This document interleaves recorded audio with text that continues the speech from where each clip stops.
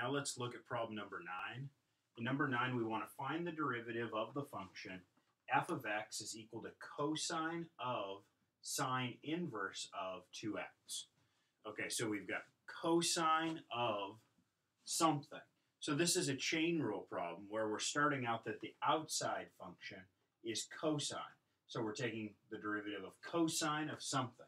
And we know how to take the derivative of cosine of something we get that f prime of x is equal to the derivative of cosine is negative sine of whatever is inside. In this case, what's inside is sine inverse of 2x.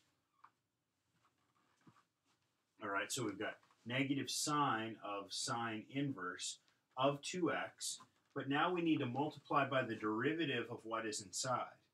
And that derivative we just did in problem number seven, but let's repeat it real quick. So the derivative of sine inverse of 2x is sine inverse of something, and the derivative of sine inverse of something is 1 over the square root of 1 minus that something, whatever it is, in this case it's 2x, squared, times the derivative of what was on the inside and the derivative of 2x is 2.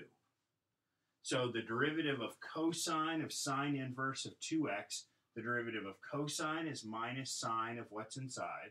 And then I need to multiply by the derivative of what's inside, which is 1 over square root of 1 minus 2x squared, times the derivative of what's inside, which is 2.